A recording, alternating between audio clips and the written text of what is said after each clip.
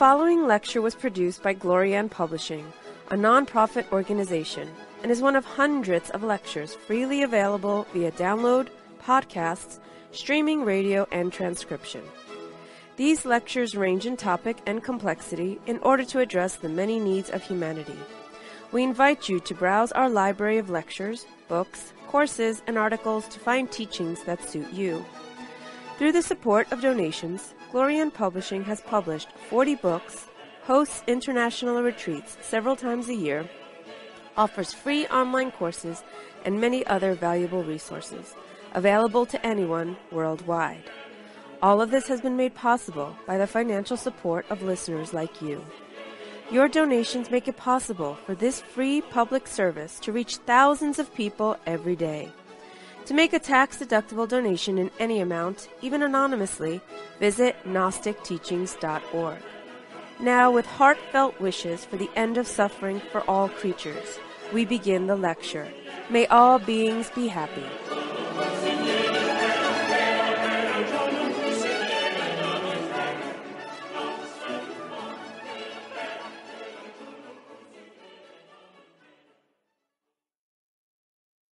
Let Yehidah be lights in the firmament.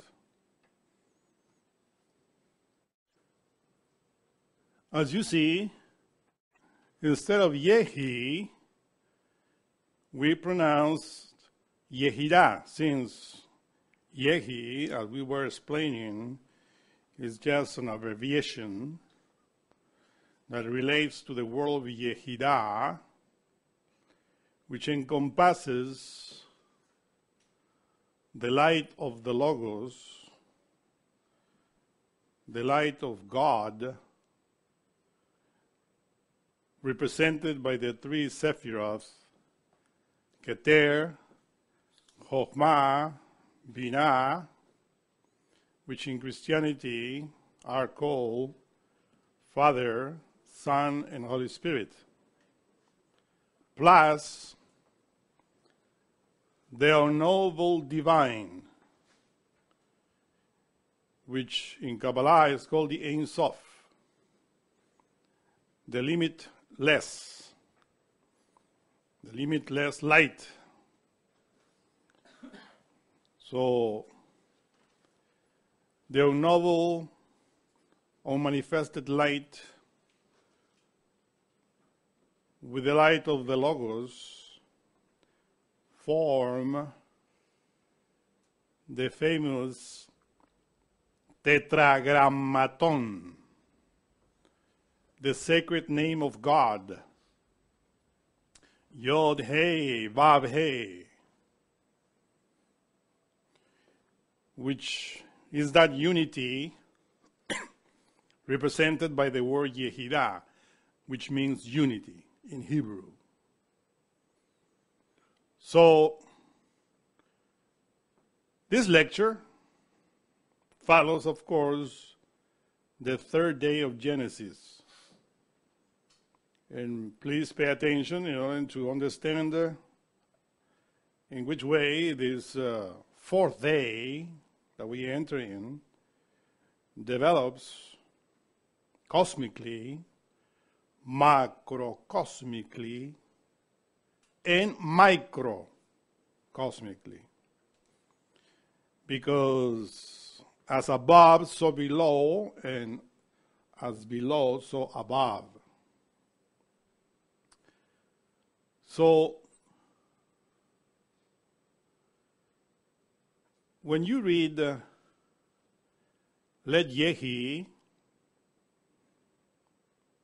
Yehidah be lights in the firmament of heaven, we understand then that the world or the light of Yehidah will become another light, which by the term lights, which is plural, that in Hebrew is called meorot means, of course, more than one. in reality, Meorot means two, two lights. Well, usually people always point as the moon and the sun. But in this lecture, we are going to explain in which way this moon and the sun relates, of course, with this secondary light that emerges from Yehidah, which is Yehi in Hebrew. Many times we explain that uh, from the world the Logos,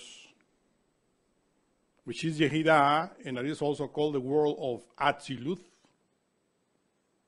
emanates this second light, which is called Haya, or Hai, which means life.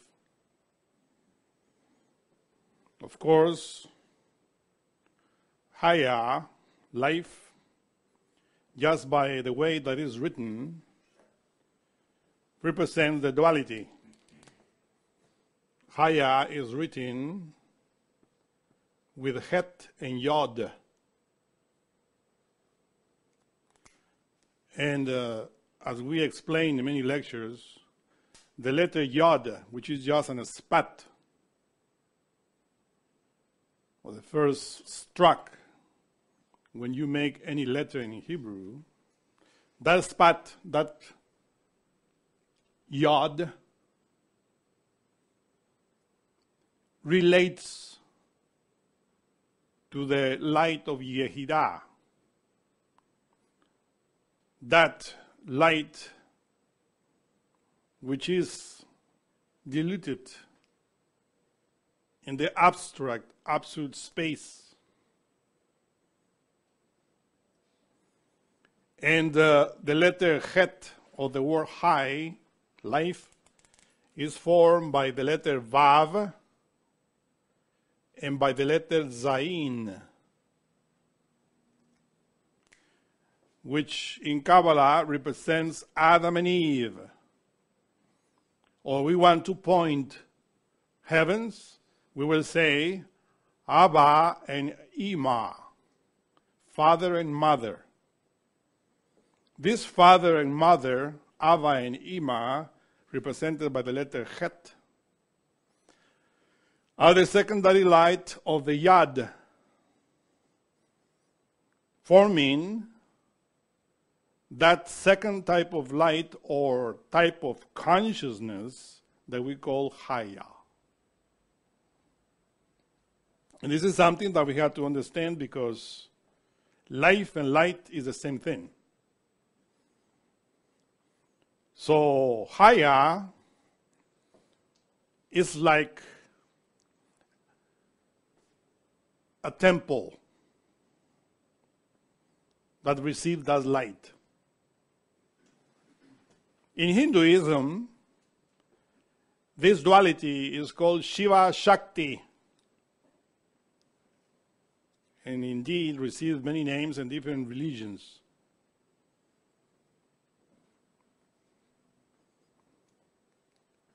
So, this Haya, which is life,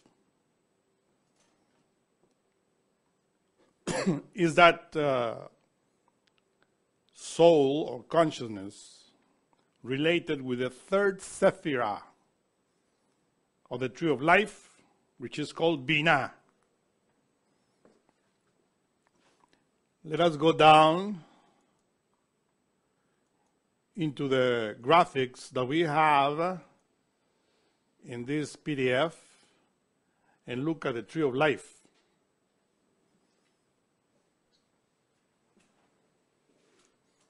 In this uh, graphic of the tree of life, we see two tree of lives. One in which we find the man behind the tree of life, and the other in which we wrought the four worlds of Kabbalah. From the bottom, Assiah, then Yetzirah, Bria, and Atziluth, which is that world that together with the Ein Sof is forming what we call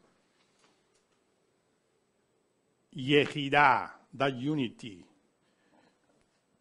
which is diluted in the seventh dimension. The seventh dimension of the universe.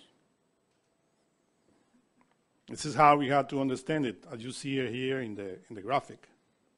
We also call it the zero dimension.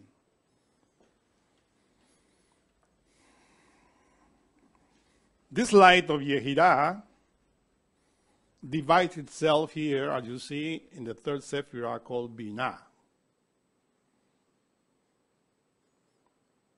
Ava and Ima. and from that descend into that. And they contain, Ava and Ima contain, as you see, in the way that is written, Hai, which is life, contain the Yod, which represents the upper light.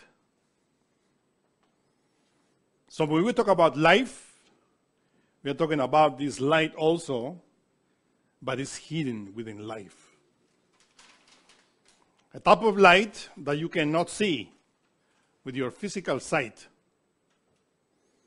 You need a spiritual sight, a samadhi, an ecstasy, a rapture in the world of spirit in order to see that light.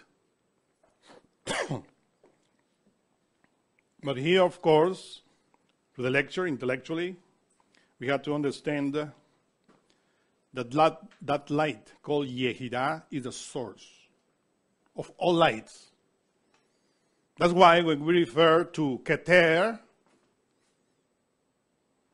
which is that spot that appears from the unknowable divine into the universe, that Keter, that crown, is called the Father of all lights. And as we explain in all the lectures, he represents the 13 Sephiroth, three unknowable and 10 knowable, which made the 13 attributes of mercy, which represents the hair of the Ancient of Days that abides in the world of God, the world of the Logos. And he is, Keter, what we call Eheye Asher Eheye, which translated into English means I become who becomes. It's an eternal becoming of that light. Certain Kabbalists call it the world to come. But when we say the world to come, intellect tells us, oh, it's a world that is going to be in the future. So it's a wrong translation. It's not the word to come, it's the word of becoming because it's eternal it's always flowing. That light is always flowing in the universe. Is related with the space. When you see, for instance, the stars in the night,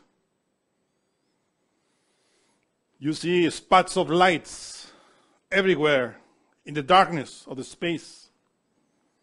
And you might think, the space is dark. But in the reality, it's not dark. It's dark for us. Because we, don't, we cannot see the powerful light that is shining in the space. What we see is just the secondary light, which are those stars, suns, moons, planets that shine within that light.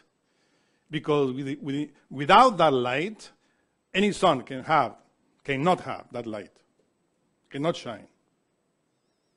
Imagine that space that is dark for us, but that is light for those beings that are very purified, called Paramarthasattyas. Like a mass ocean of life. That's why we said in other lectures that the dark space is related with that which in Sanskrit is called Akash, which is a dark, dark blue substance diluted in the space. If you think that the space that you see in the night is empty, you run. The type of light that for us is darkness, beyond our comprehension. And in that light is where all the planets, galaxies, the infinite is floating, including our planet Earth. As when we go into the ocean and we see fish and many other elements floating above and within the water. that is the Akash. That modifies in different dimensions. We were explaining in the previous lecture how that light was becoming dry land or matter. We said that that Akash is matter, but in chaotic manner. The Bible says earth related with matter. And it's written in Genesis that that matter, earth, was formless and void, and darkness was upon the face of the abyss. So that matter, formless and void, becomes dry land. That dry land could be any planet in the infinite space. This planet here, we call it Earth. But if we see it really, the continents, which is the dry land, float on the ocean, on the water, even physically. so, as we explained in previous lectures, in the previous lecture, from that land, dry land, sprouts plants, herbs, grass. And it is written there, and Yehi became grass, herbs, plants. It means that that light of Yehidah becomes a unity, but a concrete unity. Because Yehidah, the light of the Logos, is a unity, but abstract unity, only light. When that light concretes, there is a unity.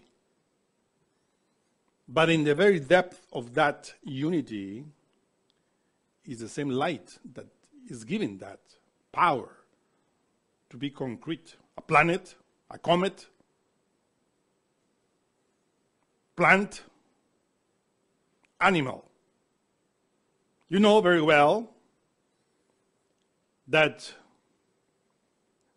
our physical body, for instance, is called organism because it's formed by organs, organs by cells, cells by molecules, molecules by atoms, and with, it, with disintegrate an atom, we liberate light, energy, fire. So in the end, Every unity in the depth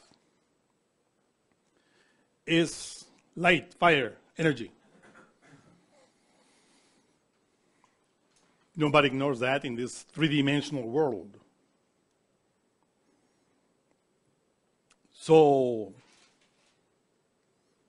imagine those planets floating in that tide, that wave that comes from the zero dimension or seven dimension into the sixth, into the fifth, into the fourth, into the third.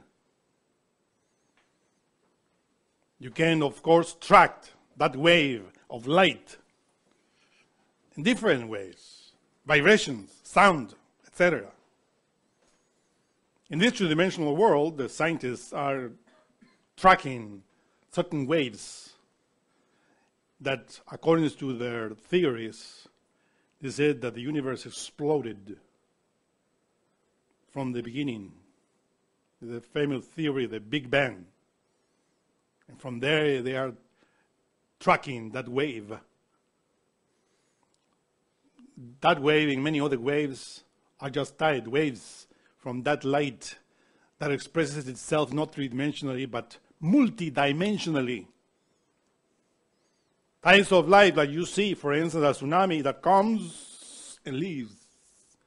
But in the universe, those tides of light are so massive that in order to return or have a movement of back and forth in the space takes millions of years. So in that wave of light called Yehidah is where we find every type of life. Three-dimensional life, tetradimensional life, heptadimensional life, because life exists in all dimensions, not only in this physical world. You can find worlds with other type of life, other type of matter in other dimensions, with other humanities. We are here in the world of Assiah, the very bottom of the tree of life, the most gross type of matter. So, as you see, every plant, every herb, every tree transforms the light of Yehidah and transmitted it to the space.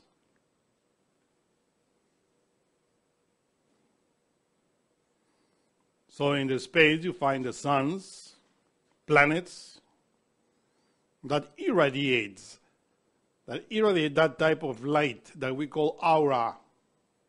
In the night when you see in the sky, you observe different planets shining with different type of lights, blue, red, yellow, etc.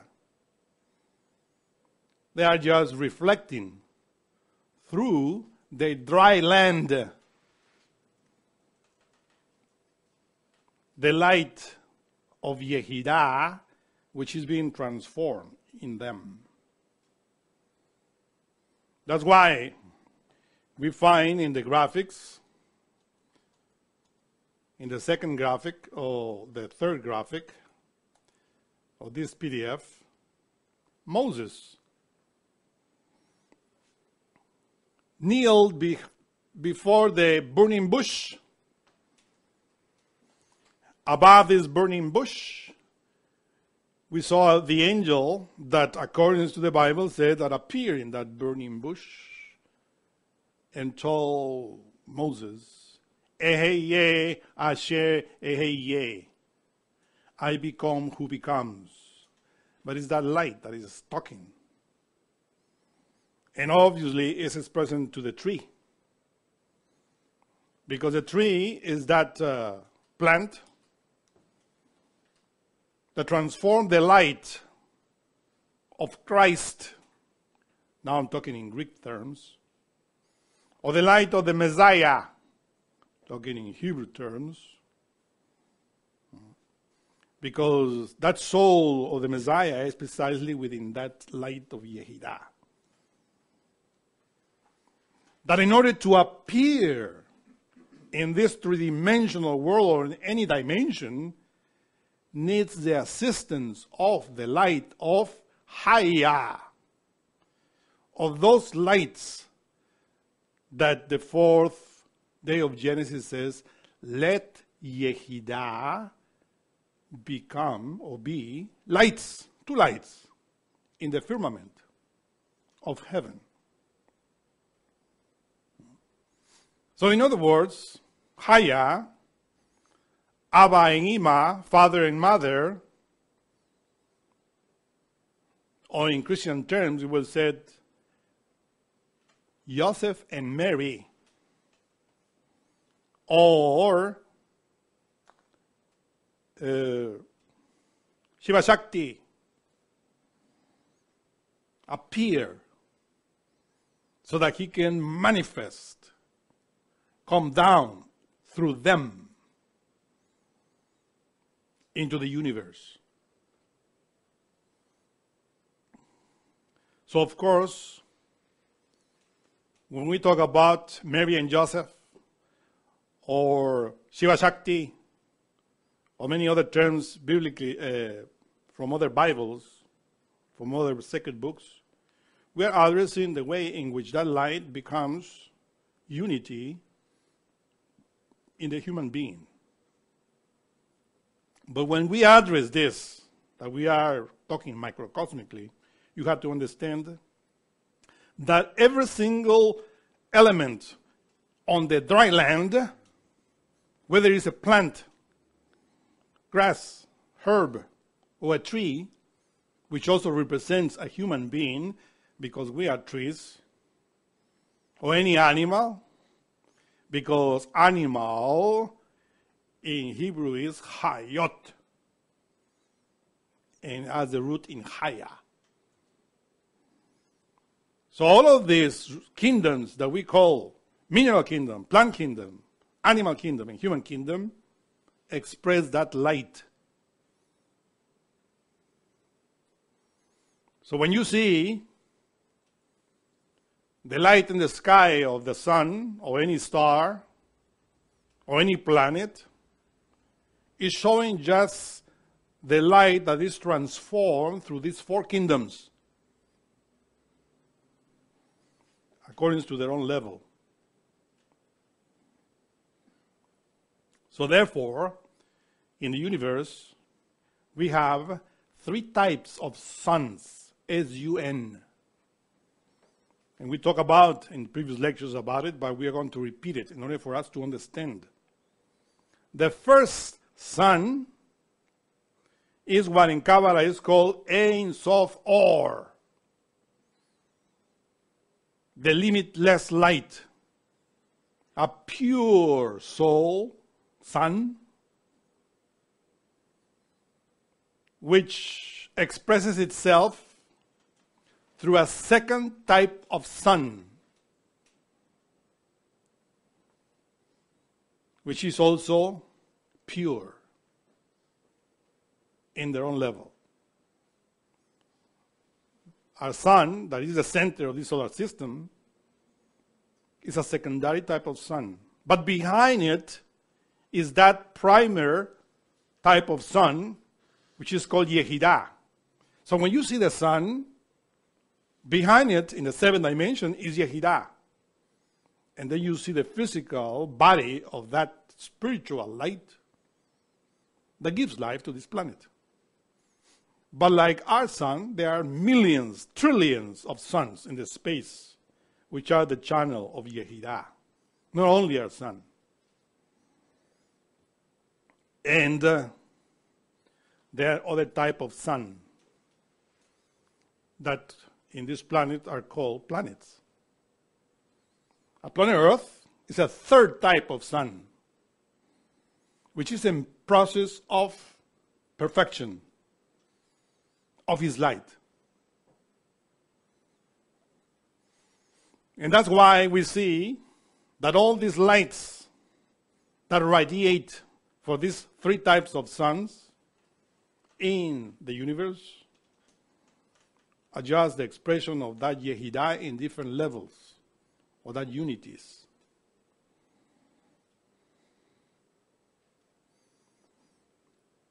And uh, that's why it's written, let that Yehidah become lights, plural. So the spiritual sun becomes different type of lights that we see in the universe through which the light is asking for perfection. That's why this is the light that Jesus of Nazareth in the Gospels address when he addresses his inner being, his own particular keter. He says, I am the light of the world. Translated Kabbalistically means Yehida or Yeheye. Yehi is the light of the world, which was expressing itself through him. Through that human unity that we call Jesus of Nazareth.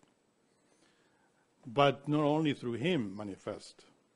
It manifested through Moses.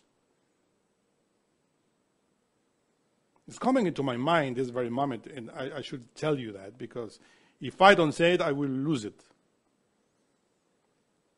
In Hebrew, the word uh, light is called aur. Aleph, Vav, Resh, Or. This is for light. But for skin, the skin of your of your body is also our or or as we say in Hebrew or. Is a difference. And is the letter A. Light or is written in the beginning with aleph the first letter of the Hebrew alphabet. But skin is or written with ayin, which is another A, but it is 16 letter of the Hebrew alphabet. It is very significant that both are A's, but one is light and the other is skin, skin of your body. When Moses descended, seeing that or of the burning bush, it is written in the Bible that his ore was shining his skin. Because in reality, any type of skin or any type of concrete matter, dry matter, is a manifestation, the concrete manifestation of that ore, of that light.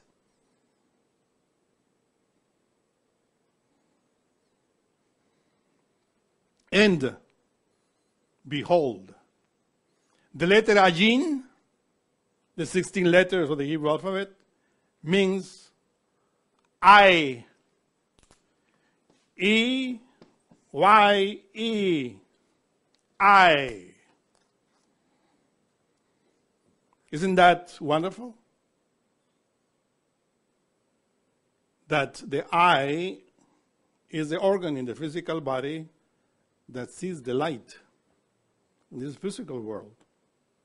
And that the head, physically speaking, is a firmament, the heaven, physic, physically speaking.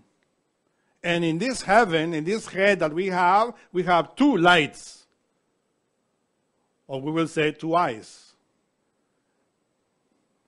that reflect the light. Because what we see is the what we get in our eyes is just a reflection. This is our ayin, the way that we see. But these two eyes are physical. We have other two eyes, which are spiritual, related with the pineal gland and the pituitary gland, which is called the Ajna chakra and the Sahasrara chakra, that allow us to see Yehi, because with the physical sight, with that ayin, that eye, we see only the physical light. But if you want to see the spiritual light, you have to put in activity your pineal gland, your pituitary gland, and you will see Yehi, the divine light, which expresses in different manners and different levels in each one of us. So then, this is a relation, but in order not to lose it. That is the light. And of course,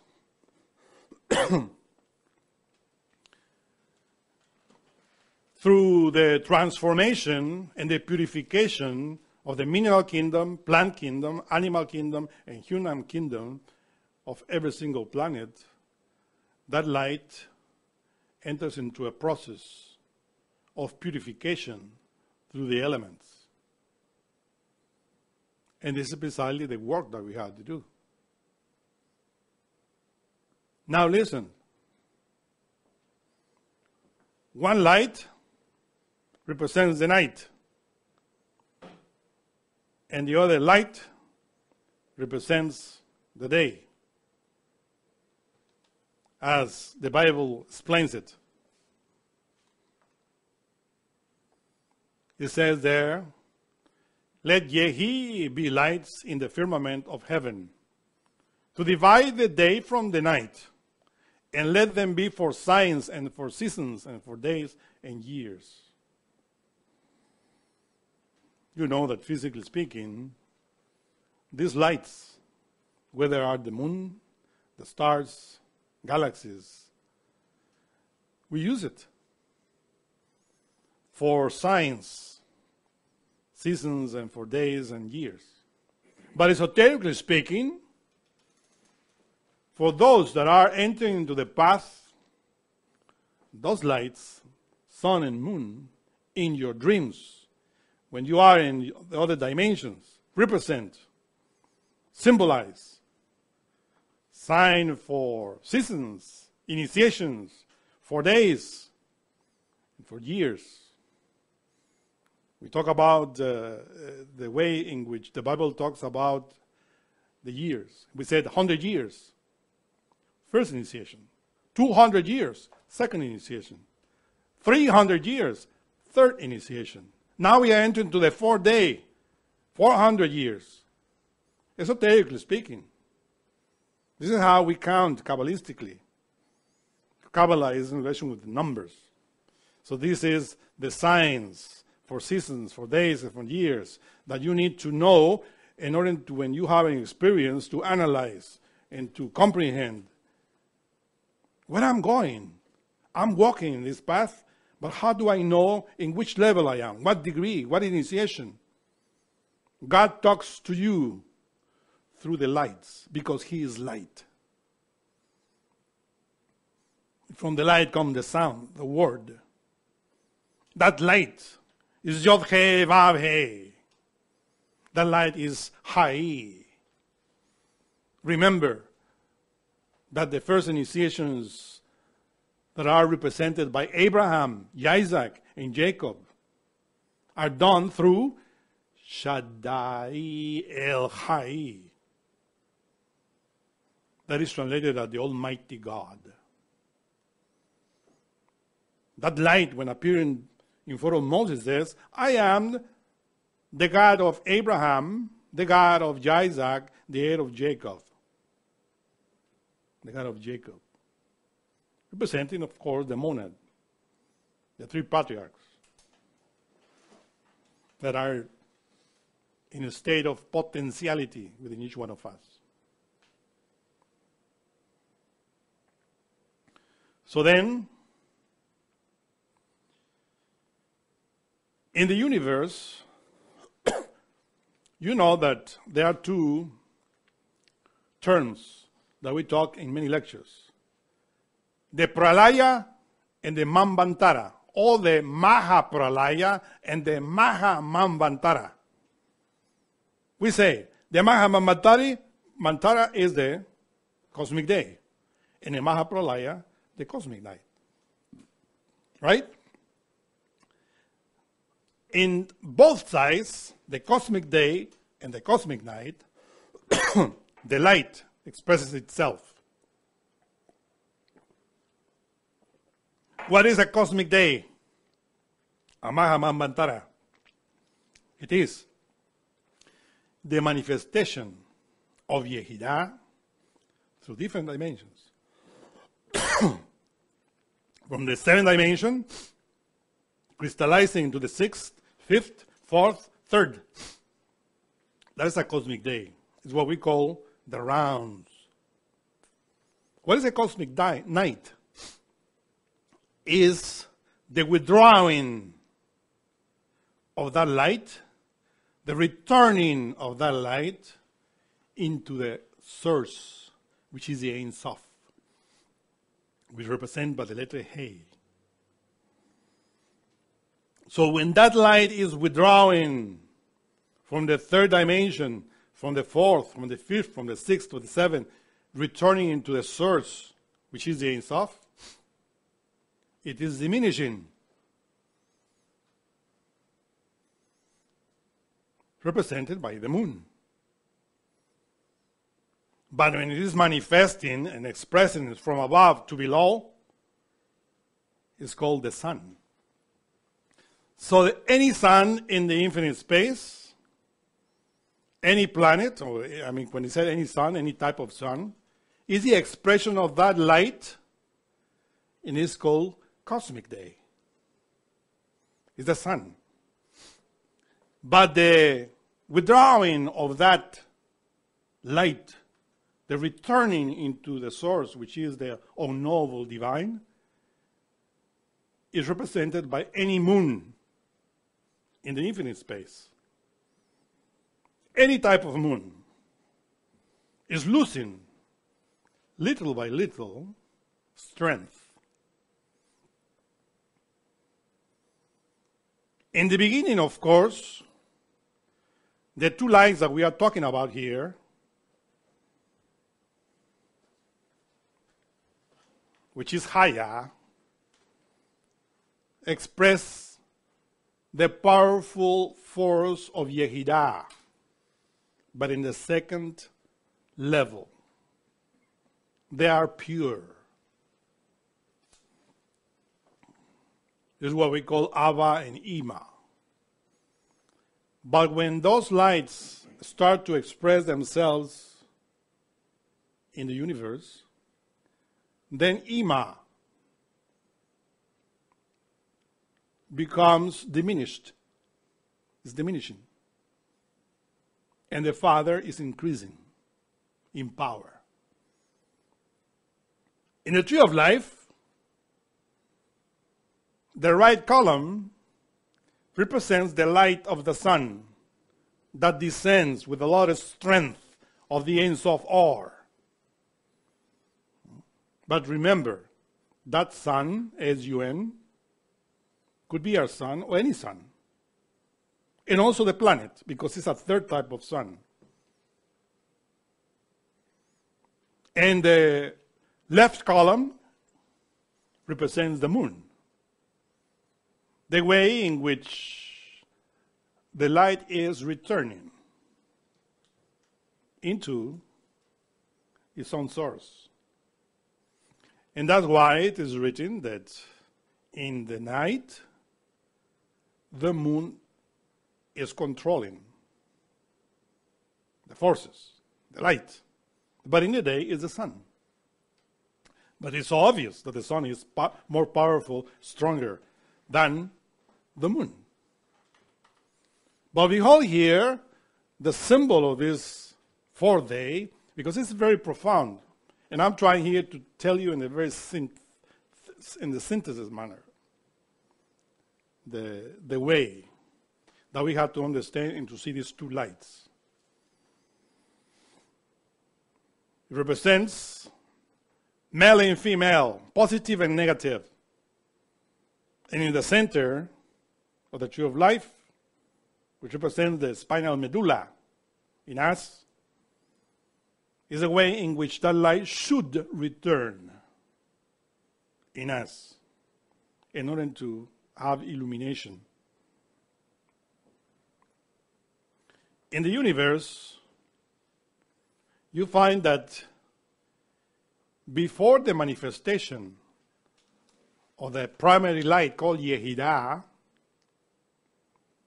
darkness is covering that light, as the Bible says, and darkness was upon the face of the absolute. And after that says, and the Ruach Elohim said, Let there be light, which is the first day. But imagine that, put that in your mind and see that before the manifestation of that primary light, which is pure and divine, darkness is covering the space. You don't see the light. And what do you find in the space, the universe? You find moons related with that darkness. Before the manifestation of that sun, solar absolute, moons, because the moons are elements that were active in previous cosmic days. And in order for a moon to withdraw from the scenario of the universe, it does it in steps. It's not like, for instance, this planet Earth is going to become moon in the next cosmic day, and it's going to be like that. Slapping of fingers. No. It's a process. Fourth dimension, fifth dimension, sixth dimension, seventh dimension, returning into their own source. But this planet will become a moon. But right now, it's not a moon. So during that process of extracting the light from the dry matter, it's obvious that the moon is controlling, in a very lower level, the universe. It is why it's written in Kabbalah that uh, before the manifestation of that primary light, darkness was covering that light, and is what is called klifa, or shell in Kabbalah. But uh, close to that klifa or shell of darkness that was covering the face of the abyss were all the moons, of course, that eventually will become cosmic dust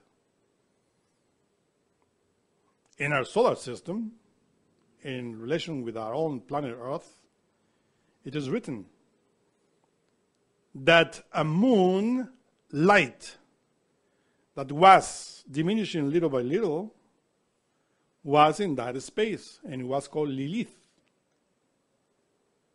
It said that darkness was called night, which in Hebrew is Laila.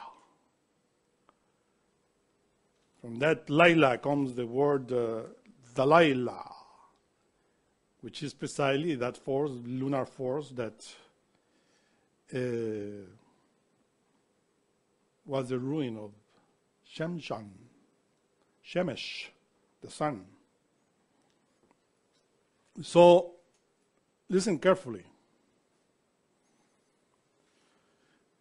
The light of the moon which is withdrawing and entering into the, their own source, is a type of light that is devolving and that is influencing any type of matter in any planet. That's why you find in the universe that there are plants, animals, human beings that are channelers of the solar light.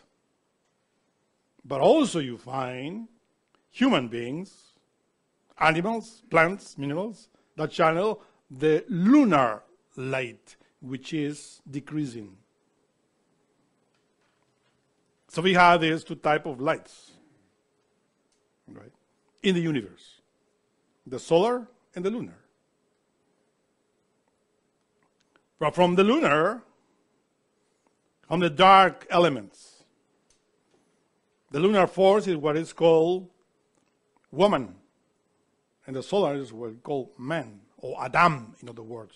Adam Chava.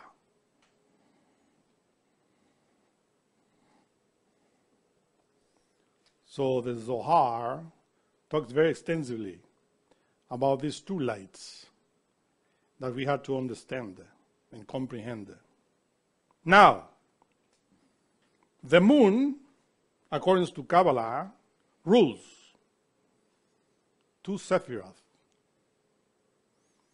The Sephiroth Yesod and the Sephiroth, or the Sephirah, I mean, Hod.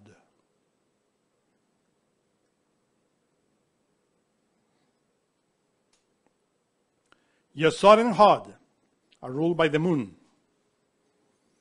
If we place this Sephiroth in our three brains, Yesod is in the sex, and Hod is in the solar plex.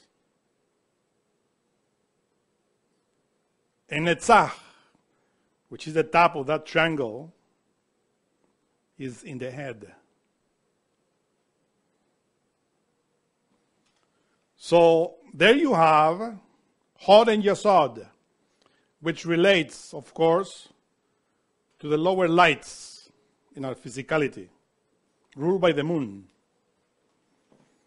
These two moons are called in Kabbalah Lilith and Naamah, or written sometimes Nahema.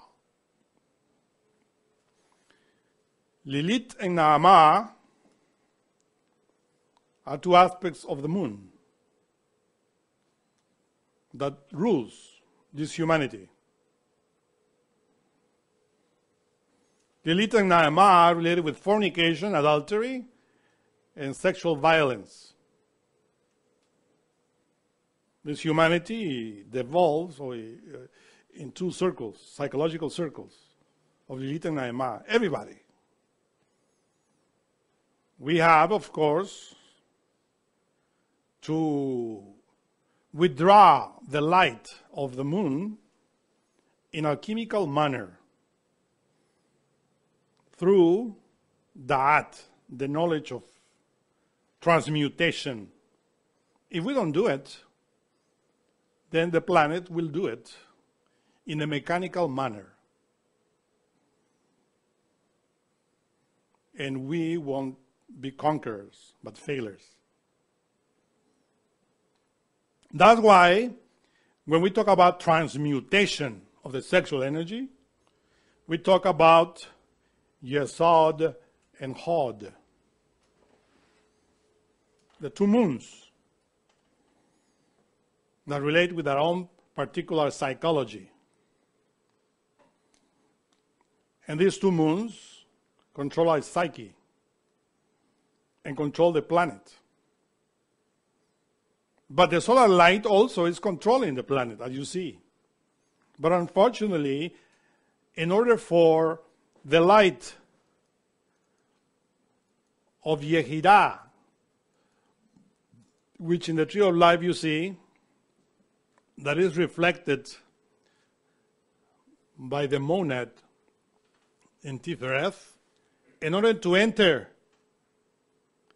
into Malkut, it has forcibly passed through Yesod and through Hod, because come like this from Tiferet to Netzah, which is the mind, into Hod, which is the emotional center, and to Yesod, which is the sexual center, and finally to shine in our physicality, which is Malkut, the very bottom of the tree of life. What we have to do is to return the light in our sexual transmut through our sexual transmutation and to save the emotional force which is present through Hod in our heart and solar plex. If we want to return and to make light in Netzah, which is our mind, which relates to the fourth day. Netzach is the mind, is that solar mind that we have to create. Because right now, we have a lunar mind. But behold, and understand and comprehend that all the lights that comes from above, from the infinite space, from the galaxies, from the solar system, comes into the planet Earth and is transformed in the mineral kingdom, in the plant kingdom, in the animal kingdom, and human kingdom.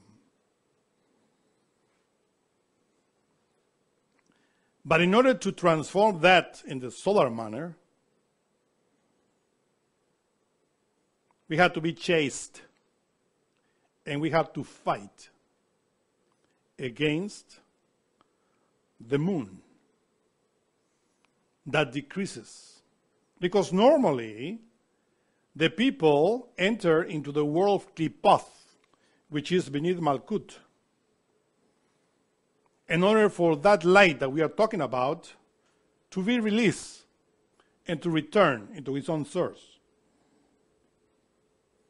That's why, eh, in the times of the end, when humanity is already mature, start to enter into the infernal worlds called Klipoth. There, the releasing of that light is a process of disintegration of the lunar matter, because this is cosmic law.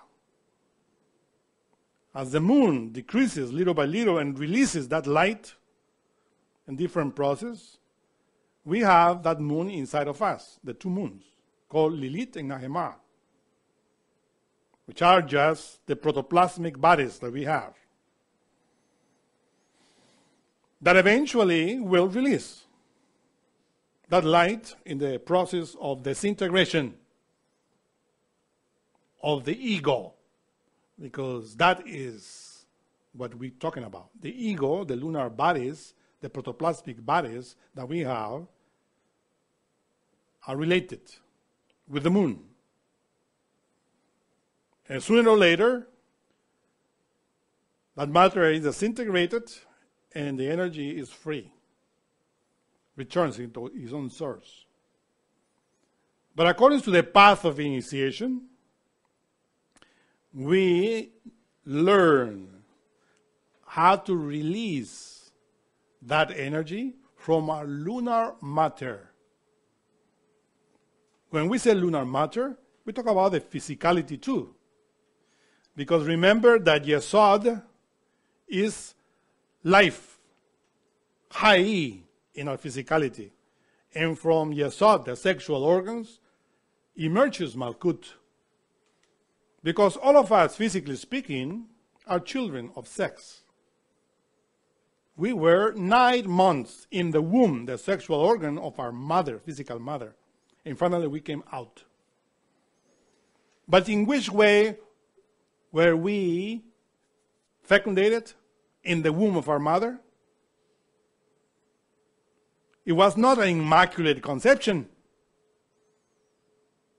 Our physical father spilled the sexual energy as in any animal. Because if you observe animals, they spill the sexual matter. Plants don't do it. They transform that energy. That's why are filled with fruits, flowers, and beautiful. That's why the burning bush is represented by a plant, not by an animal. Unless it's Hayot HaKadosh, the four holy creatures. But that has to be born within us Of course, the physicality is lunar. Is the outcome of the process of the diminution of the light through fornication, or what we call the orgasm. So, therefore, all of us are condemned to death because death is on the left side, the moon, and life is on the right side which is the solar light. So if we eat of the fruit which is forbidden, we die. In other words, we are condemned to the lunar path. That lunar path means the subtraction of the light through the disintegration of the lunar matter. Simple as that. And any lunar matter is the outcome of fornication. Our physical body is lunar. And what we have inside, Lilith and Nahema, is lunar too. And uh, this clipothic body that we have, physical and psychological, eventually will have to be disintegrated in order to release the light. Because in the universe, the light transforms into matter and the matter into energy. It's a process. And we are in the middle as consciousness, as souls. Now, in the process, in the Gnostic process, we learn how to disintegrate Lilith and Nahema within us in order to liberate those archetypes that the Bible calls Israel. Which are all those archetypes that we have within. The Zohar talks very wisely about these archetypes in a very synthetic manner, in synthesis. It is written that when the light of Yehidah was going to create the world, Aza and Azael, two angels, they said, came and said, What are you going to create when the human being down there is going to not to be pure? Is going to sin. This Aza and Azael says are, are two angels. We will say it in Gnostic terms, two archetypes that represents the two moons. Aza Yesod and Azael Hod in the left side. Those archetypes that everyone has within. And that becomes identified with the lunar process. They are trapped, in other words, in each one of us, in a lunar process. When we disintegrate the lunar aspects that we have in our psyche, Aza and Azael are liberated as archetypes and return their own source. Of course, these Aza and Azael form a name of an angel. We represent those archetypes. Name Azazel. Who is this Azazel? He's an angel that when was physically incarnated in the planet Earth, his name was Sholiman or Solomon, the King Solomon. The King Solomon, of course, is written, went down in his Song of Songs, he says, I went down into the garden of nuts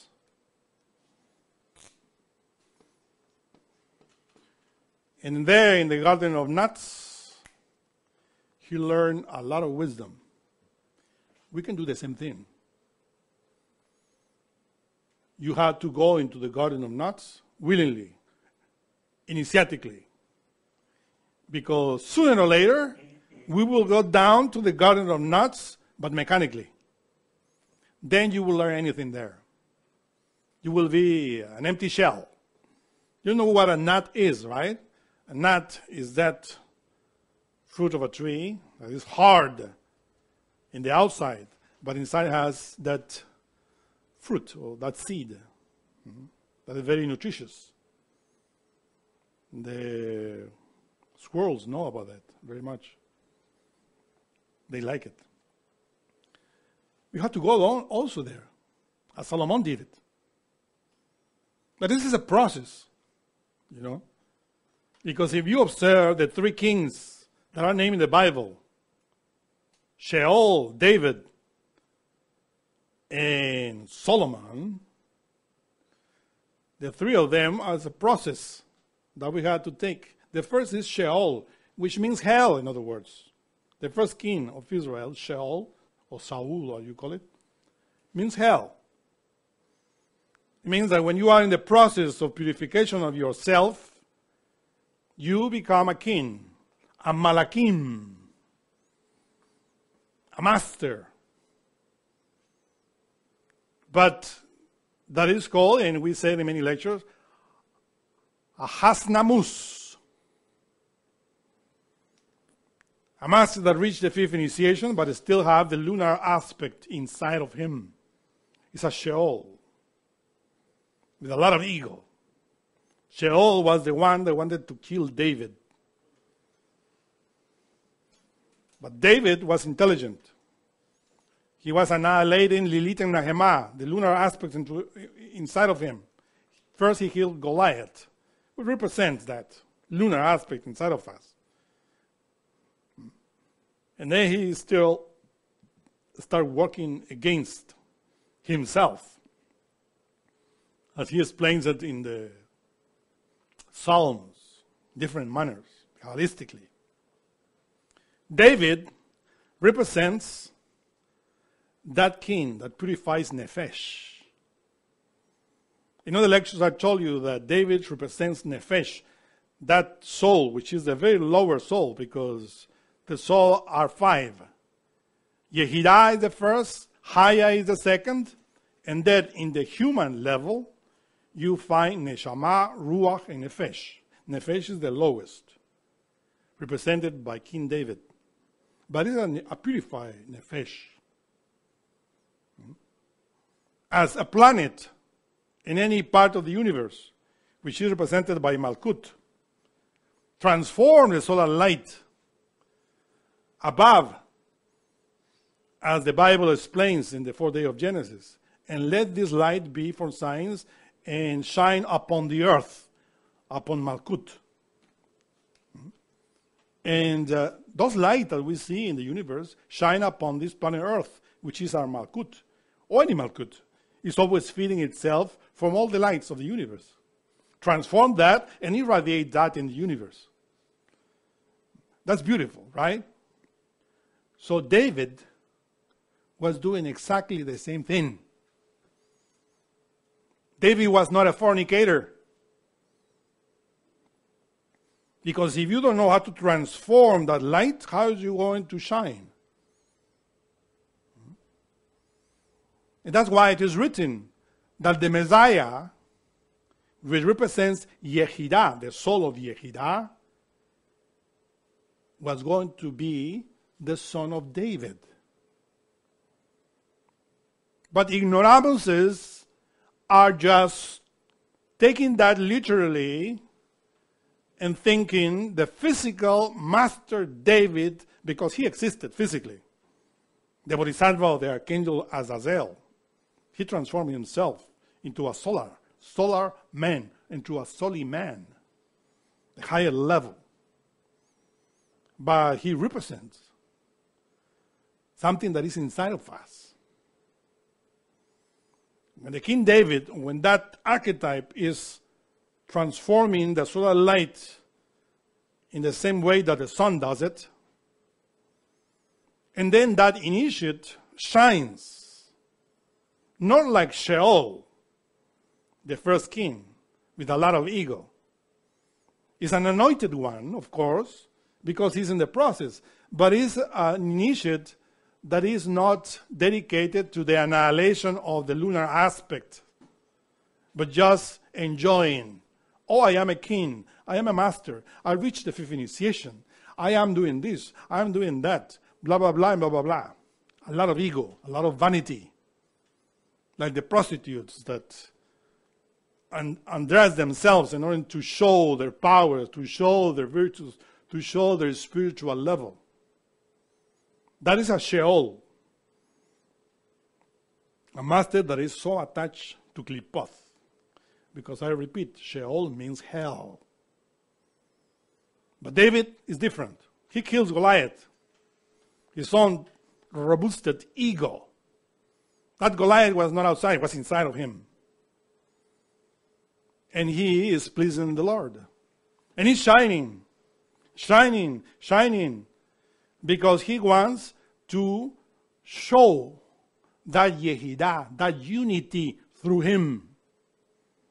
That unity is the Messiah. When you are doing the work, the first unity that appears is the astral body in Hod, the third day. Says, let this Yehidah, this unity, become dry land. And we explain that is uh, the astral solar body, the first unity. Or we will say the first Messiah, son of David. But in the process of initiation, another development of another archetype comes into us, which is called Joseph. And this Joseph is related with Yesod. With the transformation of the light of Hod, because remember that that Yehidah in the astral body becomes a unity that manifests that Messiah in a very lower level, of course. Because there are all the levels, but I'm talking here in the very lower level. That's why the astral body is called the astral mediator. Christus mediator in us. When somebody creates that astral body, Christ has already a unity in him, the very lower level.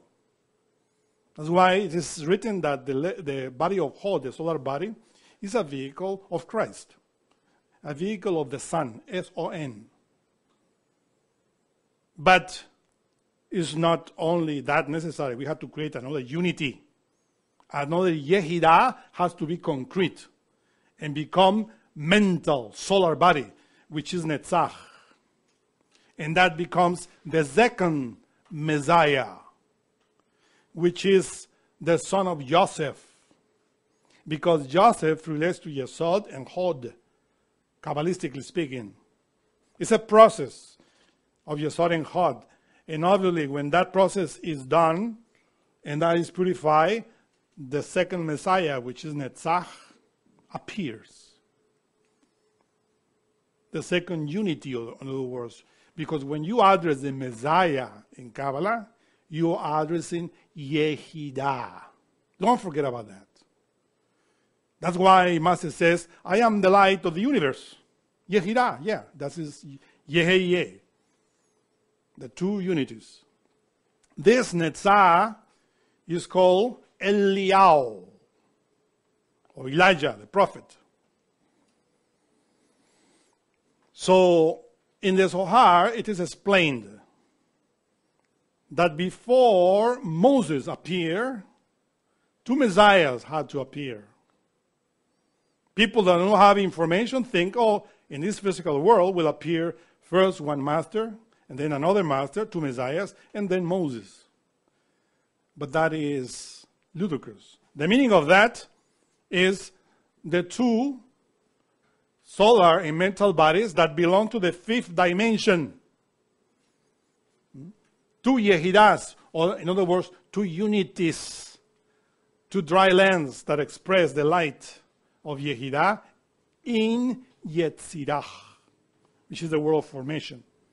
In other words, we have to form, we have to create those things.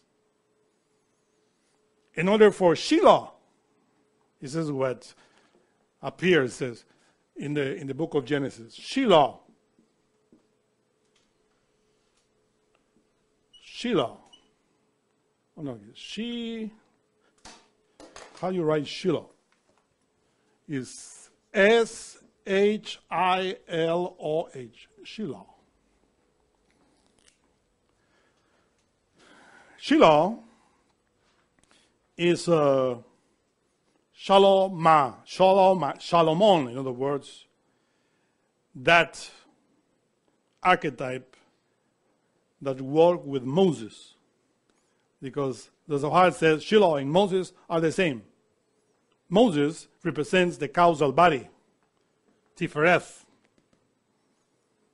Moses cannot appear if we previously don't create the two messiahs inside of us. And then Shiloh appears. And that Shiloh is that the causal body, Solomon,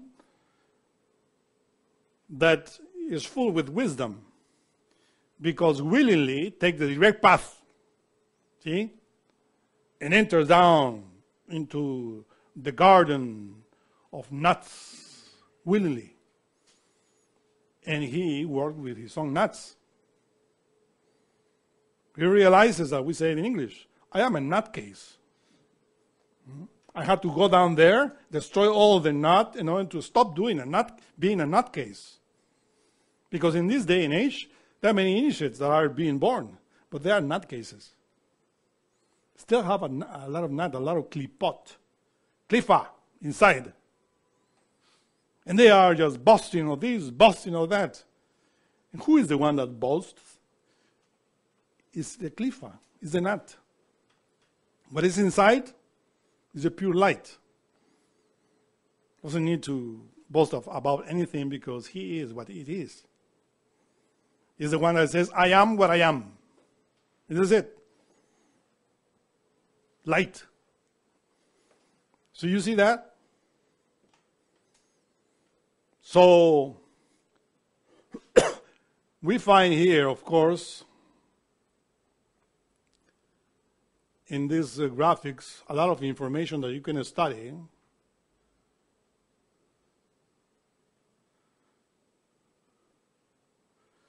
In Genesis 1.5, we find there the, the two similitudes, the two graphics, you see, when it says, And Yehi turned into lights, into the firmament of, of uh, heaven, to give light upon the earth, and Yehi was saw. Yehi is Yehidah, remember that. Hmm? So Yehi was so, you see the planet Earth surrounded by light, like any sun. But the solar force, any sun, any star, of course, is more perfect. And that light is stronger. But in the right, we see how do we have to become also a unity of Yehidah by those lights appearing and transforming into our own uh, into our own psyche into our own bodies. We have to be born again is what Yehidah, the Messiah, Jesus of Nazareth, said to Nicodemus you have to be born again in order to enter into the kingdom of heaven. The kingdom of heaven is form of lights. Remember that in the fourth day of Genesis it is written that God made the stars also.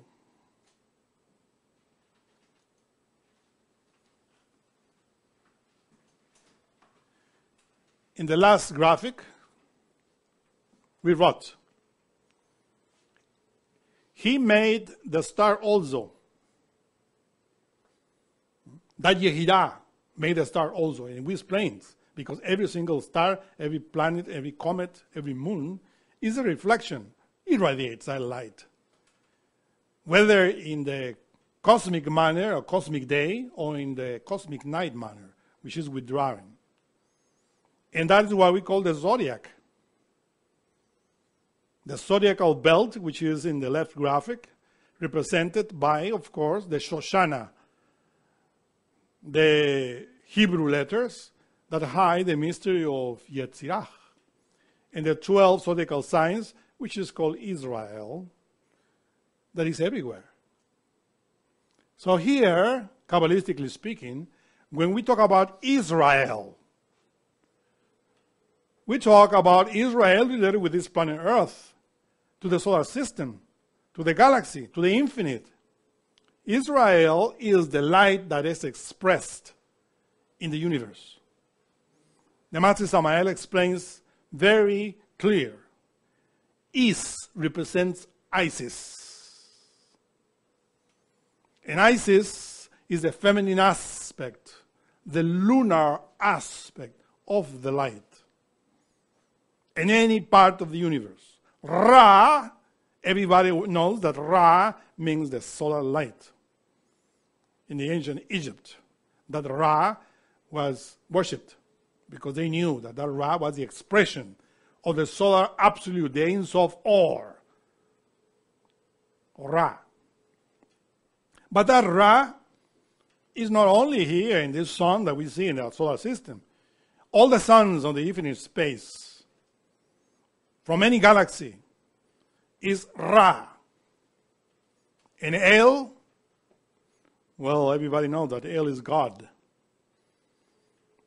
Is that God that expresses itself in the universe and that comes from the Hey of Elohim. The Hey, the Ein Sof, from the Ein Sof emanates El. That's why is El is behind the letter Hey. And the other Im, Elohim, Yam in Hebrew, is the ocean, the universe, the Akash. That is Elohim. So that's why it is written that Yehidah, Yehi, made the stars also. The Zohar says, referring to the countless and innumerable hosts of angelic and ministering spirits existed in and by him who is the light and life of the universe as is written. And Elohim set them in the firmament of the heavens to give light upon the earth, and to rule over the day and over the night, and to divide the light from the darkness. And Elohim saw that it was good, and the evening and the morning was the fourth day. Right? So, many lectures previously, we talked very clear that every single planet, comet, moon, or sun is a physical vehicle of a consciousness, spirit. Call it angel, call it God, or gods if you want. But let us put down here an example on our own physicality. Physically, we are also units. We are dry land. But in the very depth of our consciousness, we have our own inner being, who is God, or an angel, if you want, an El. That's why the holy name of God in Chesed is El. Because that El, that Ruach Elohim, is inside of us, individually speaking, particularly. Each one of us has his own El, his own Ruach Elohim, and that is God. He wants to shine through us. What he wants. Now, he reached the level, obviously, of creating a human physical body. In order for our being to reach this level in which we are creating a human physical body, he came from the very bottom. He learned it in the mineral kingdom, in the plant kingdom, in the animal kingdom, and finally he is here. He's doing it, of course, through the lunar manner, because we are still intellectual animals. We are in this knowledge because we want to be a King David, right? Because King David represents Malkut, Nefesh. That initiate that transform the light positively through initiations. Why do we want to become King David? Because only King David can give birth the Messiah. Remember that the Messiah is called the son of David and also the son of Joseph. The two forces. And then Moses comes internally. And that is a transformation of the light. that we do. So, when we read the Gospels, the four Gospels, people ask and believe in Jesus of Nazareth. That is the center, the hero of the Gospels. But they ignore that that Jesus, that Savior, that Messiah, is the son of David and the son of Joseph. That is a process of transformation of alchemy inside of us. It was necessary for the Lord to come physically and, in, and have the life of Jesus of Nazareth in order to show us what to do. Problem in this planet is that millions of Christians they think that the Master of Aramento came 2,000 years ago, died on the cross, and they wash their hands and okay, we are ready. Just believe in him and we go too. Up into heaven. So easy, right? No. It's why the Gospels were written. If it's only uh, believing in him and, and we go to heaven. So easy, right? No. It's not chemical transformation. If you read the Gospels, you saw or you see there, you learn how it's alchemy. But you need to have the eyes of an alchemist in order to understand it. The eyes of a Kabbalist in order to understand the message there, as well in the Old Testament, the book of Genesis that we are mentioning here. In the fourth day appears, of course, Eliyahu. Eliyahu represents the mental solar body that is controlled by Hesed, our own particular spirit. Because if you say the tree of life, Hesed is in the right, and Netzah is in the right side of the tree of life.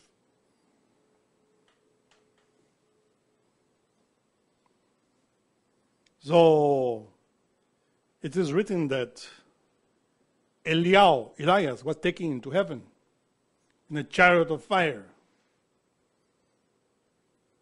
You might think that that prophet was taken at that time. It was wonderful, right?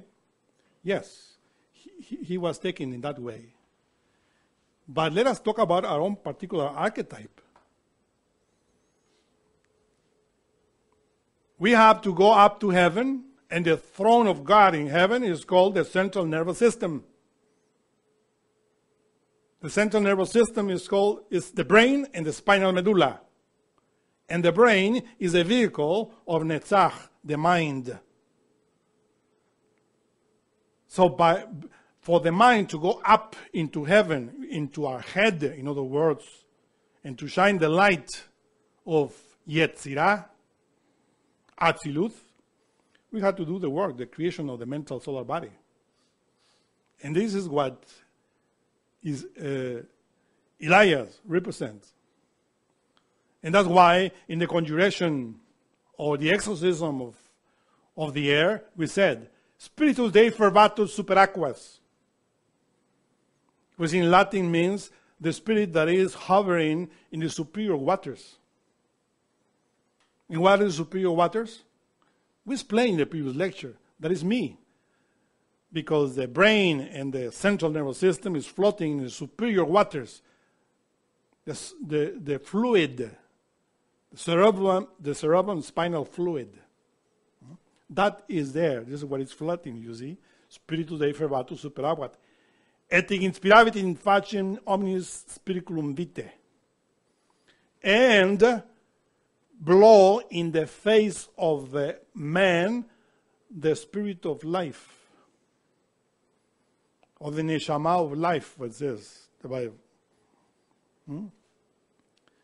Sit Michael dux meus es Sabatiel servus meus. Be Michael, my servant, or my, my, my leader, and Sabatiel, my servant. Michael is the king of the sun, represents the solar light, Sabtaviel, the lunar.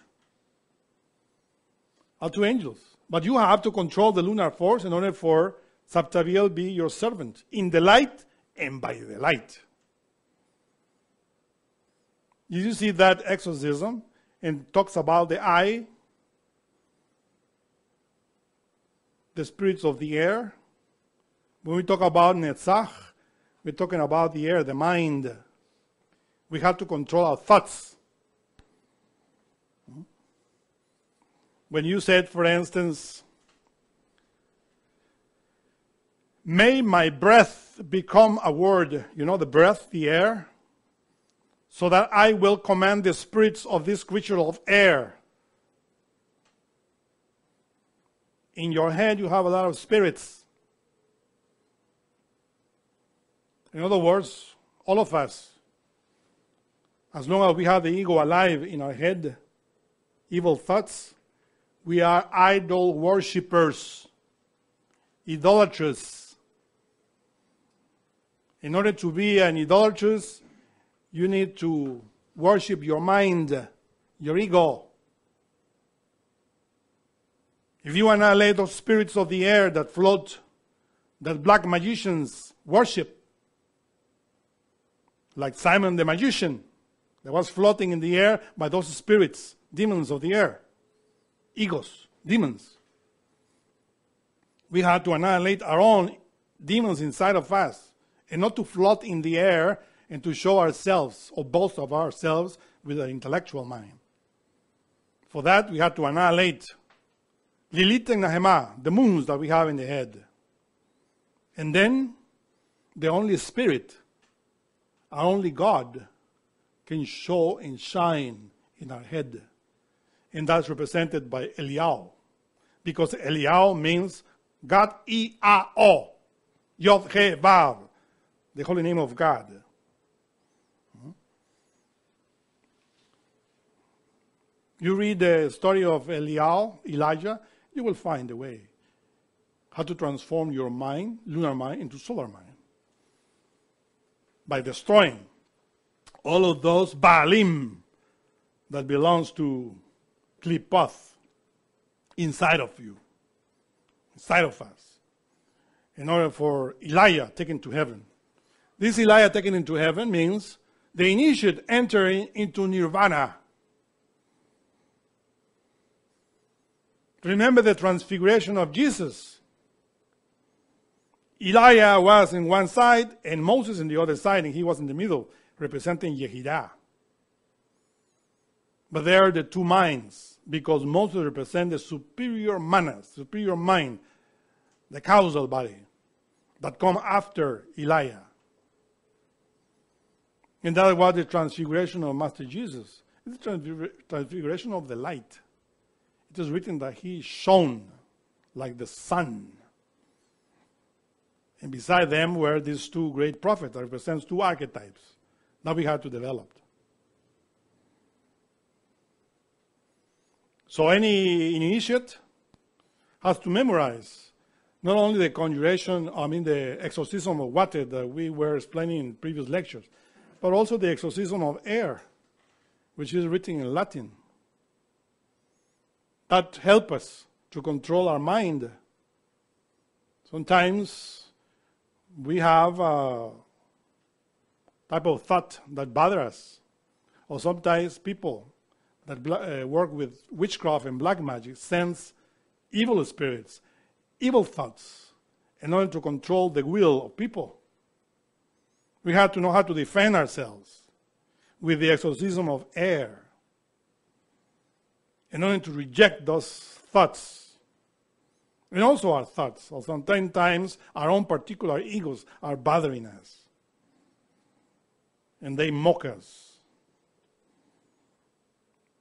Remember that before creating our own particular Elijah inside of us, we have a tower, a tower of bubbles inside the Tower of Babel, the, the head. And there we are bubbling things. And sometimes religious things. There are many people that study the Bible or the Quran or the Bhagavad Gita and many other sacred books, and they're just bubble, repeat without knowing what they're saying. We have to meditate in everything that we read and everything that we study in order not to be a Tower of Babel. And for that, we need to create the internal bodies. Do you have questions?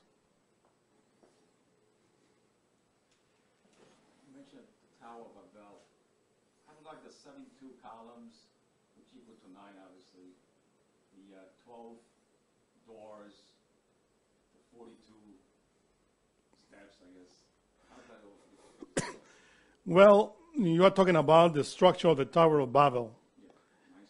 Yeah, in Kabbalah you find those 72 uh, pillars, uh, 12 doors, and all that. Uh, uh, of course, it's a lecture already giving about that. And you learn this, uh, the symbol of that Tower of Babel. The very bottom 72 is equals 9, which is the ninth sphere, which is Sephirah, the Sephirah Yesod. That we have to control because the Tower of Babel, really, if you see, is Yesod, Hod, Netzach. Netzach is the mind, Hod is the emotional body, and Yesod is sex. Each one of us is a Tower of Babel. And if we don't follow the path of chastity, there will be always inside of us confusion of tongues. And we will make a group of confusion of tongues. I have two questions. What is the, what happens to the, um, the solar bodies at the end of the cosmic days? And then also, um, you said that Yehidah was the, uh, the, the sun behind the sun. So that, what is that? That's like the spiritual sun, the sun at midnight, the, Yeah. Yehidah is really the, the son of midnight, that we call it initiatically. When you follow the path of initiation, of chastity, you want to know what are you doing? Are we do- doing a positive thing or we are wrong?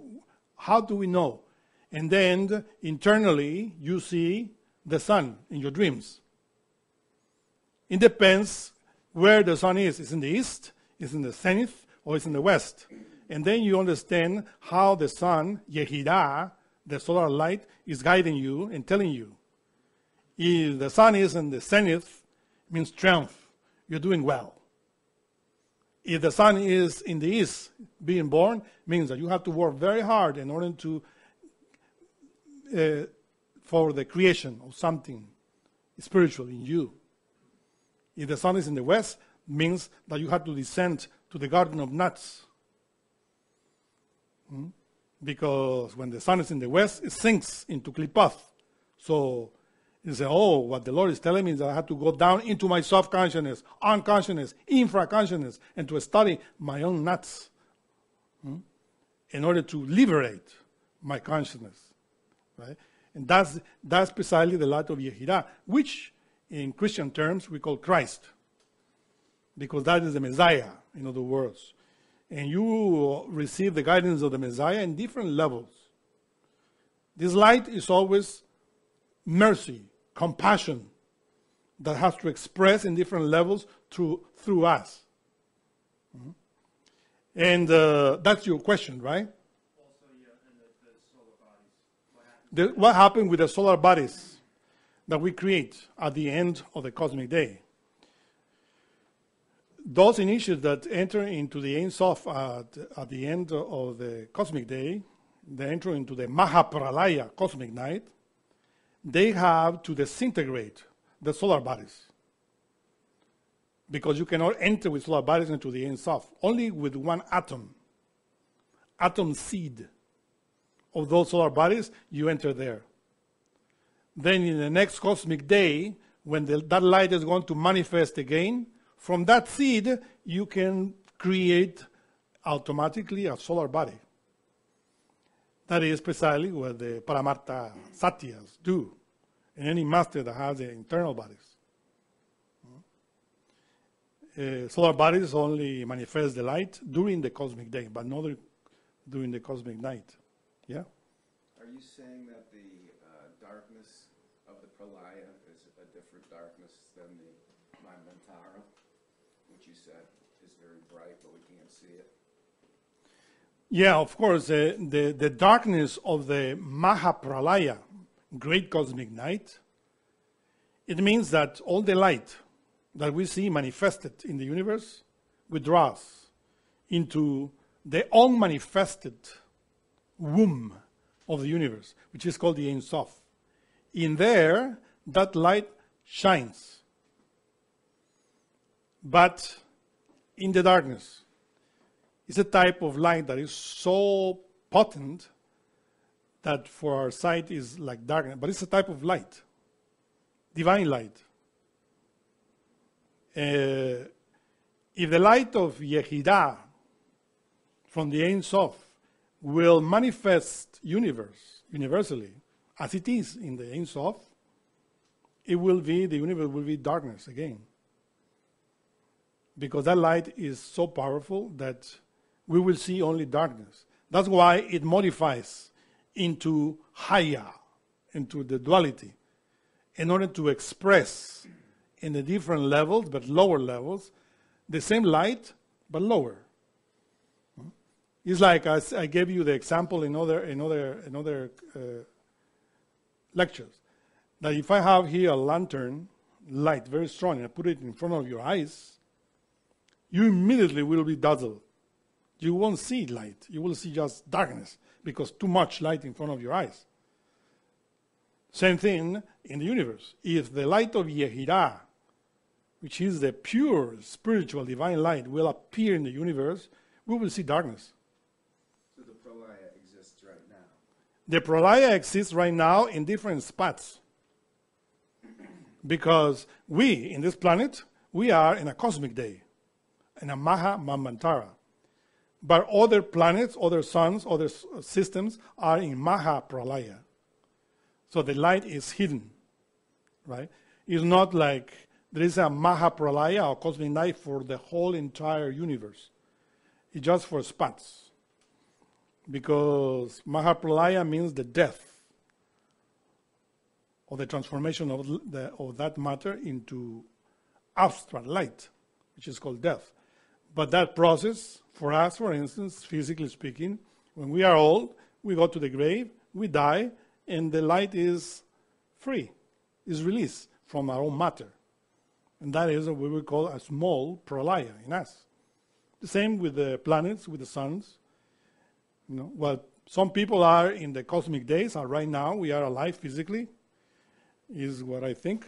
Are we physically talking here?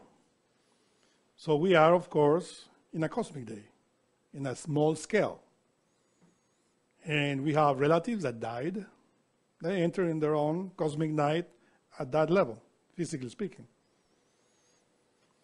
But when we talk about the entering into the universe, into Mahapralaya, the whole planet, into a dark night, that endures exactly the same amount of time that the cosmic day.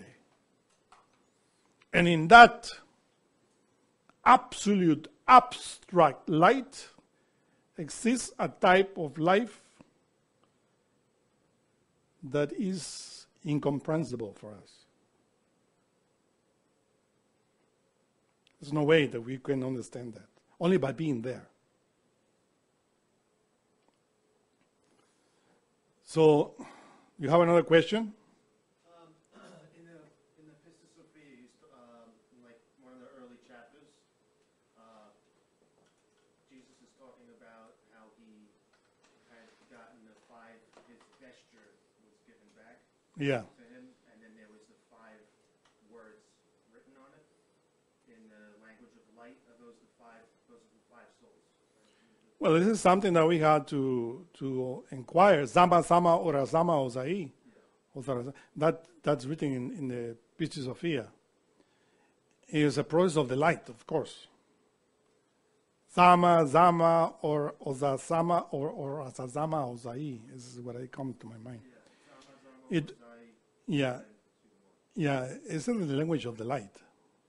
You have to meditate on that. Uh, even though there are many explanations uh, for other authors of esotericism, I said that it says the light, the light on my vesture. Mhm. That's the meaning of those words. But really, uh, that relates to many dimensions, many forces. It's the light of Yehidah.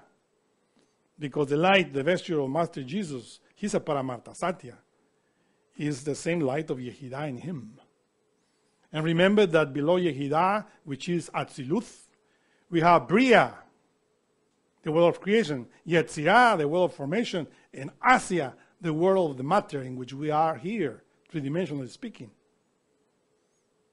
To be born again means to return the light that we have in this physicality into Yetzirah, into Bria, into Atziluth, and into the Ein Sof. That's the process, the returning of the light, of alchemy, chastity. If you fornicate, there's not a transformation of that light because that light is precisely in Haya, in the sexual energy, life.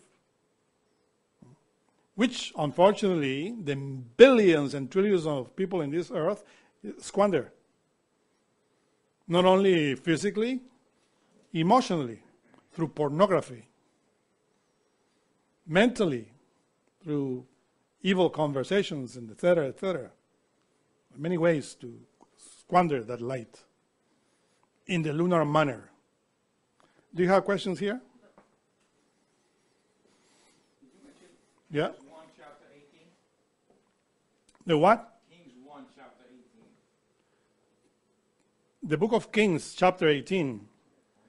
Yeah, the, the, well, this is precisely related with, with Elijah. The way in which Elijah disintegrates all of his lunar aspects, which are called Baalim in the Bible.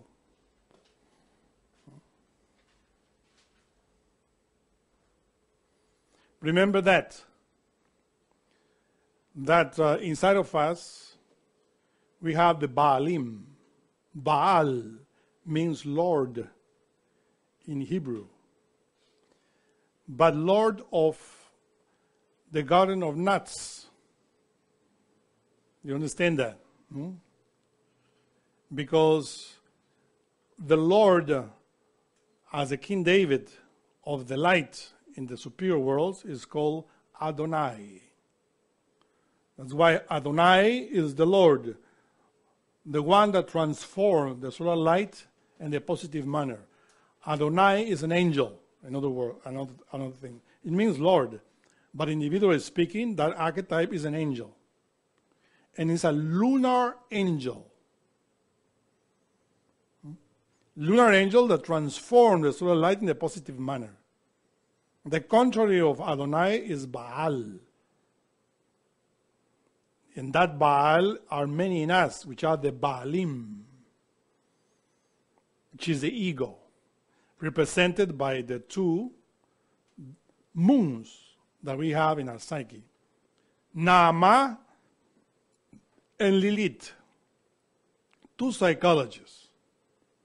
Lilith is a very dark moon, represents the, in, the subconsciousness, unconsciousness in us. But Naama is a type of moon that reflects the light and that we can see easily through meditation. Defects that we have related with lust, anger, pride, greed, vanity, laziness, fear, etc., that when we sit and meditate, it's too easy to see. In the interaction with our friends, with humanity. But Lilith, only by disintegrating Naama first. Because then your, your consciousness, which is similar and is synonymous of light, will expand.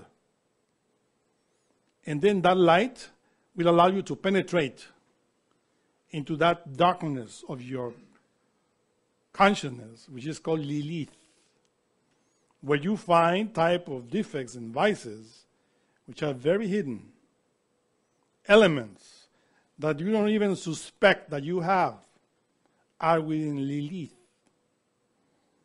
Relate to our own past animal level, when still our consciousness was not a human being, but an animal.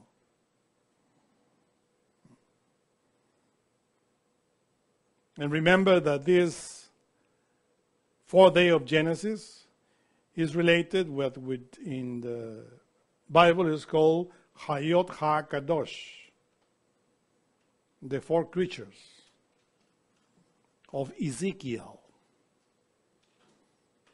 The four creatures of Ezekiel, Adam represents the water.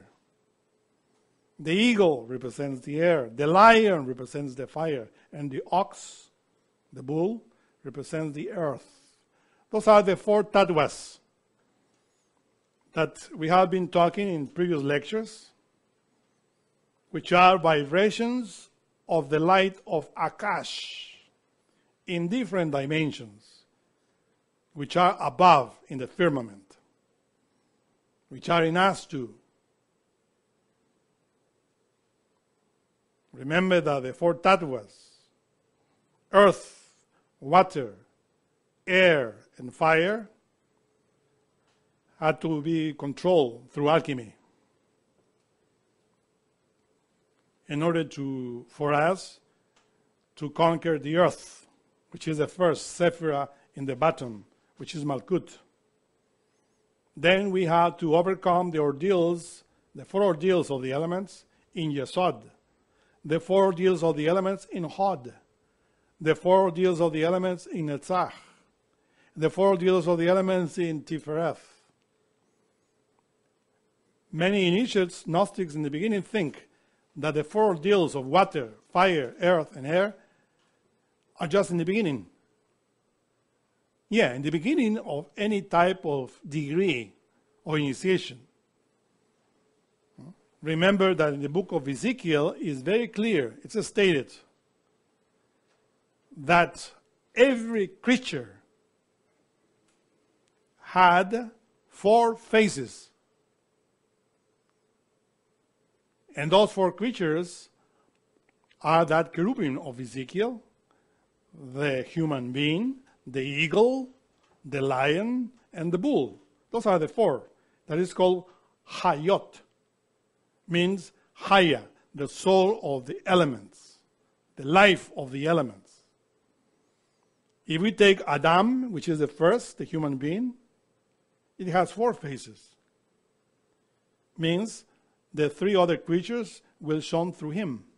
Is what the other speaker explains. In every single tattva, you find the other tattvas.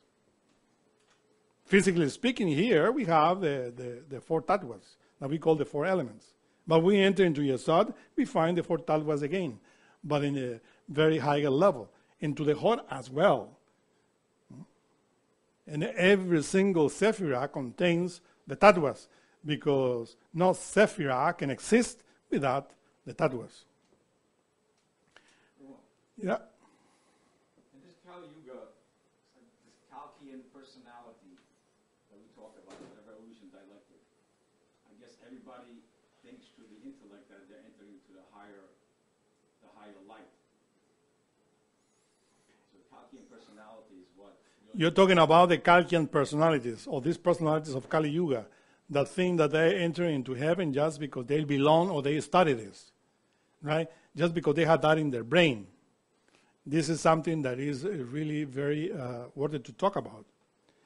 Because just for the fact that we know Kabbalah, just for the fact that we know all of this, and that we are studying it, doesn't mean that we are going to be automatically into another level. It's just the intellect. We have to develop that. It's the, the power, the development of the light. There are many Kabbalists that state that when you study Kabbalah, sooner or later your ego will explode and will liberate Yehidah in you. Just like that.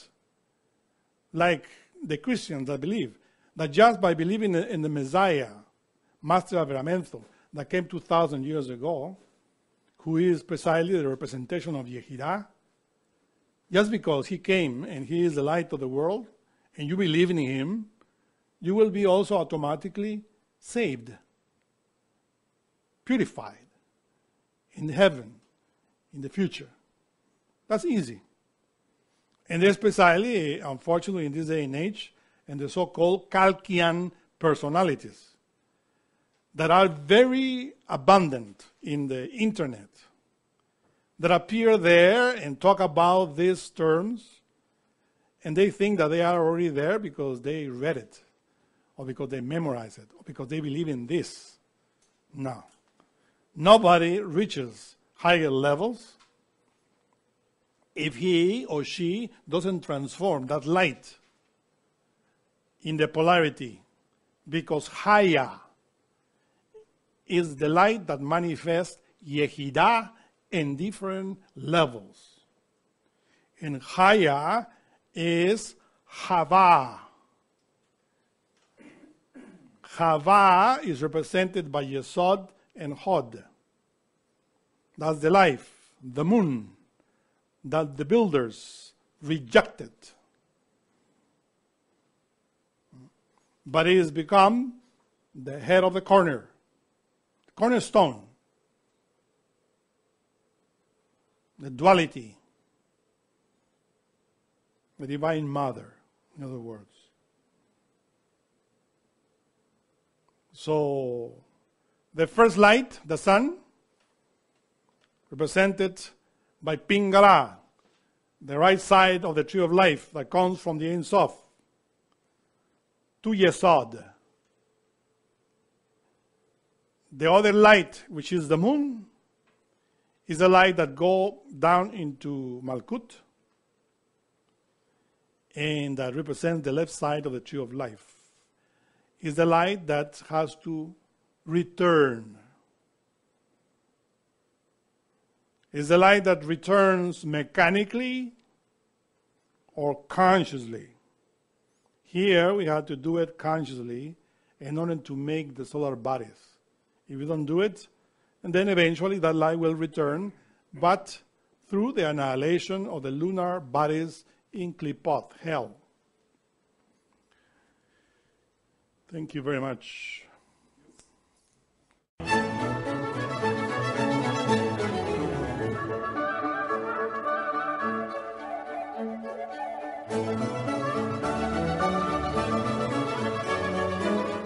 To learn more about what you learned in this lecture, we invite you to explore the books published by Glorian Publishing, available from booksellers worldwide.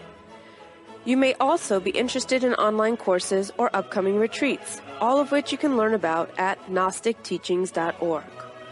All of this has been made possible by the financial support of listeners like you. Will you help others to benefit from this knowledge? Most spiritual schools recommend a donation of 10 to $20 per lecture. Every donation helps. Make a donation now at GnosticTeachings.org. Thank you. May all beings be happy.